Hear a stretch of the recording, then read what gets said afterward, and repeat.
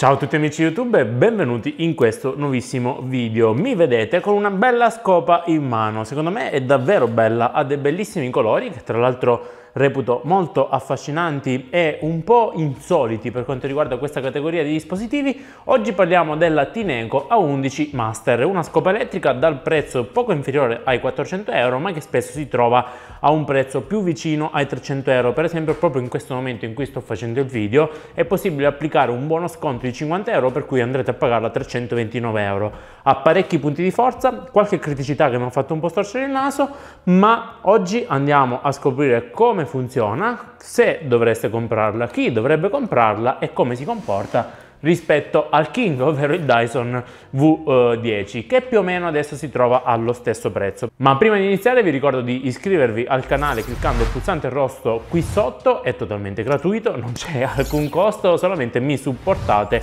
e quindi poi posso portarvi più prove e più approfondimenti in modo che possiate scegliere in maniera migliore il prodotto eh, che vi serve e eh, soprattutto mi, mi supportate davvero tanto, lo apprezzerei moltissimo. E poi di iscrivervi al canale Telegram dedicato dedicato alle offerte perché queste Tineco e molti altri prodotti vi verranno segnalati quando si abbassano di prezzo. Il link lo trovate sempre qui sotto nella descrizione. Iniziamo però con la confezione. Una confezione che arriva ed è molto pesante perché? Perché all'interno ci sono una quantità enorme di accessori. Oltre al motore, alla scopa elettrica c'è il tubo rigido che è costruito in metallo gli inserti invece sono in plastica bianca, c'è una spazzola multisuperficie, eh, però all'interno ci sono due di queste spazzole, c'è questa qui che è quella per tappezzeria, moquette, pavimenti morbidi, quindi tappeti e tanto altro, ed ha delle setole, due file di setole che si incrociano,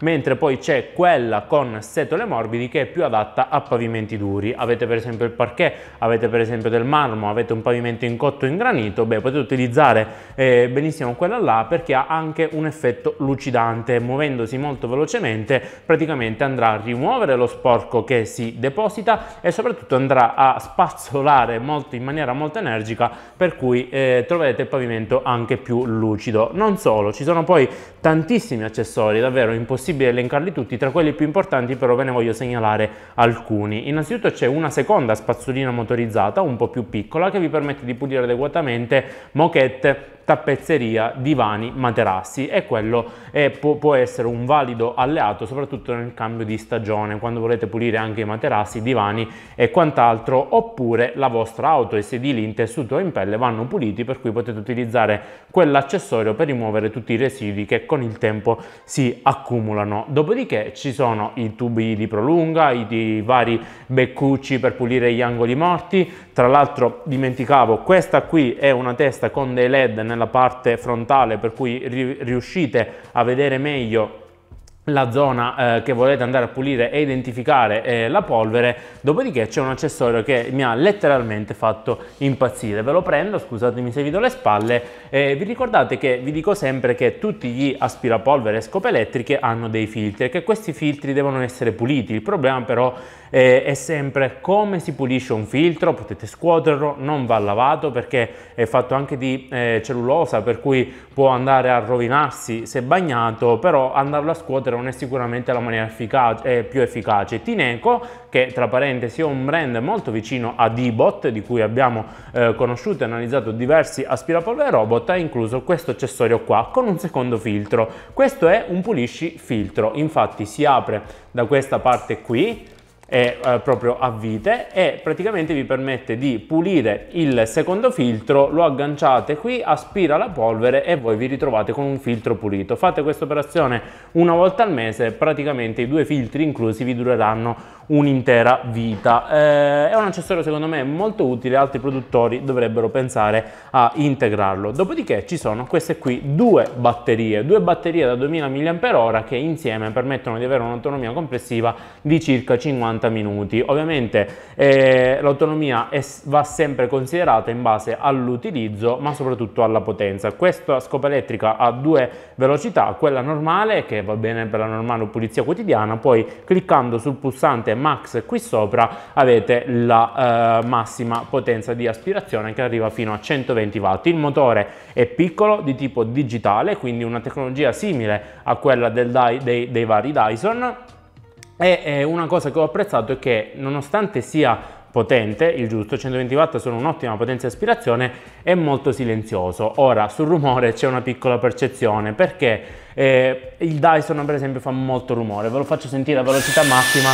giusto per farvi rendere conto di quanto casino produca. Può essere soprattutto fastidioso se per esempio lo utilizzate mentre in casa ci sono altri ospiti. Questo qui non ha eh, l'attivazione, o meglio, ha l'attivazione a grilletto, ma si accende e spegne come un normale aspirapolvere, quindi e dovete tenere premuto eh, per attivarlo. Sentite, è un po' più lenta l'attivazione, ma è molto silenzioso. Il fatto che sia silenzioso, vi faccio se questa è la velocità normale, vi faccio sentire anche la velocità max il fatto che sia silenzioso, dicevo, vi illude del fatto che aspiri di meno. In realtà la potenza di aspirazione è poi molto simile, quindi passandolo sulla stessa superficie a parità di condizioni ottenete un risultato davvero molto simile e questo è sorprendente ed è soprattutto molto utile perché ovviamente noi pensiamo sempre a noi stessi e all'utilizzo casalingo, però è un aspirapolvere che è una scopa elettrica che potrebbe essere usata per esempio in un bed and breakfast, in una piccola attività oppure in un piccolo ufficio. Uh, ci sono uffici che... Eh, in cui i dipendenti magari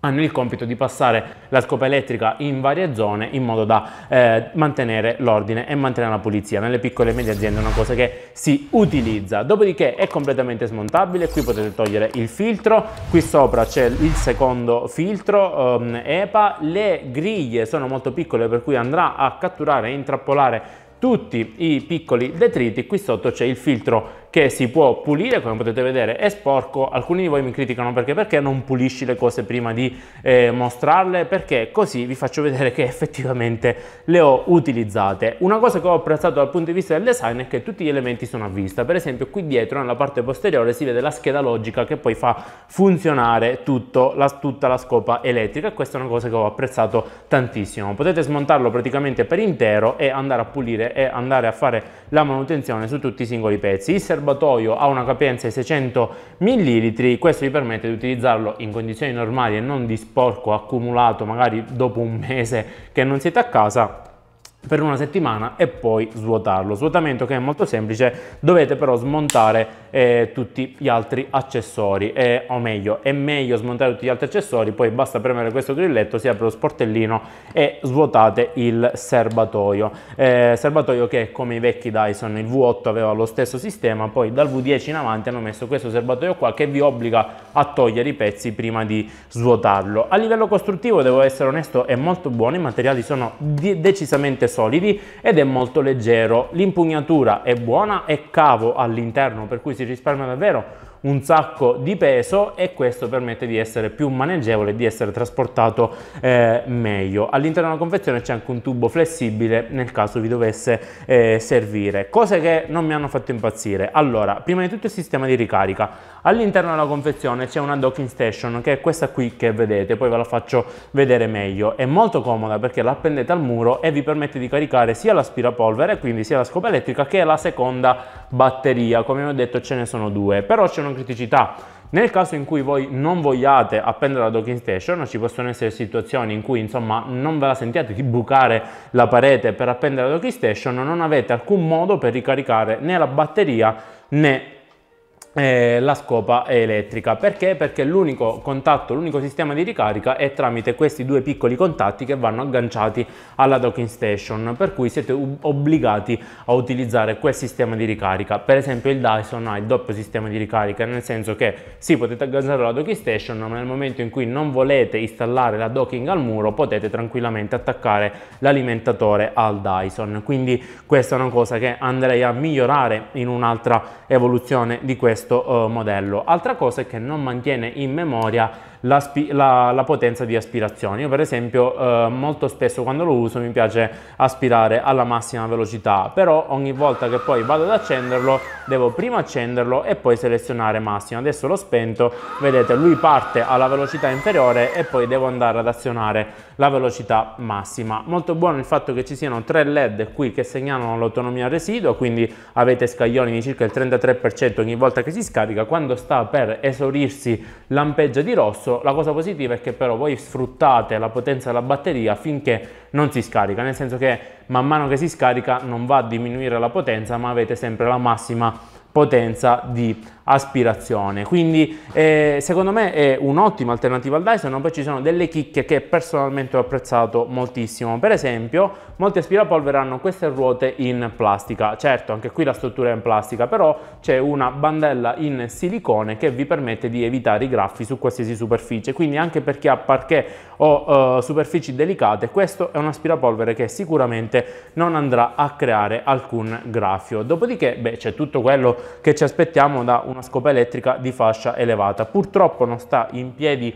da sola, eh, però questo insomma mm, il principio è che questa è una scopa elettrica che dovete acquistare se avete intenzione di sfruttare ovviamente la docking station inclusa. A livello di aspirazione vi dicevo è davvero molto buona sia su tappeti, pavimenti duri ma anche su superfici non perfettamente uniformi eh, funziona davvero molto bene, io l'ho utilizzata per tutta l'estate, per tutto il mese di settembre quindi è da due mesi che la utilizzo insieme al Dyson, ripeto il Dyson fa molto più rumore, quindi l'impressione è quella che abbia una potenza spaventosa. In realtà poi se vado a comparare, se, fa, se sullo stesso tappeto in una metà passo lui e in una metà passo il Dyson, il risultato è praticamente identico. Quindi qui avete però il vantaggio di avere la doppia batteria, vi si esaurisce questa, vedete come è facile sganciarla, la togliete, avete l'altra carica, la rimettete, quindi pulire anche un appartamento più grande non è difficoltoso, eh, perché insomma avete un'autonomia globale di circa poi 40 minuti minuti alla massima velocità, ogni batteria dura all'incirca 20 minuti alla massima velocità, 15-20 minuti a seconda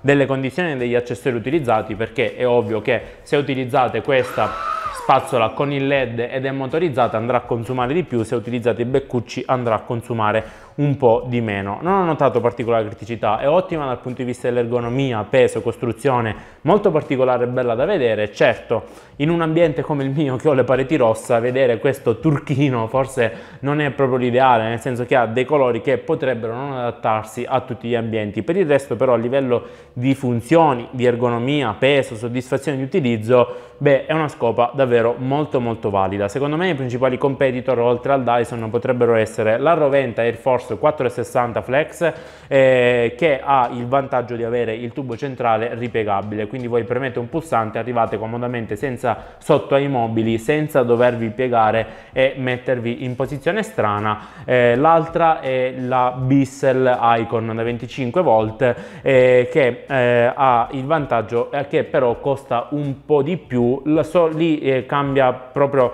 il sistema di svuotamento che è molto simile invece al Dyson e la costruzione forse un, un pelino migliore, però poi a livello di potenza di aspirazione siamo lì molto bene con i peli di animali e con i capelli lunghi e vi posso assicurare che qui in casa ne ho tantissimi e, e insomma un'ergonomia d'uso che in, in, in, linea, in, linea, di massima mi ha soddisfatto. Vi consiglio però forse 389 euro per un brand che non si conosce tantissimo, sono un po' tanti però è un brand che fa tante promozioni, quindi vi consiglio di aspettare un prezzo un po' più basso ed eventualmente siate interessati a una scopa elettrica che rispetto per esempio a ProScenic P10 abbia più potenza, più accessori e un picco di più di flessibilità di utilizzo, allora questa è una scopa elettrica sicuramente da tenere sott'occhio. Vi lascio il link qui sotto la descrizione, seguitemi sul canale Telegram perché tra un po' ci sarà il Prime Day, quindi ci saranno un botto di offerte molto probabilmente che questa andrà in offerta. Per questo video è davvero tutto e noi come al solito ci vediamo al prossimo video. Iscrivetevi e mi raccomando ci tengo. Ciao!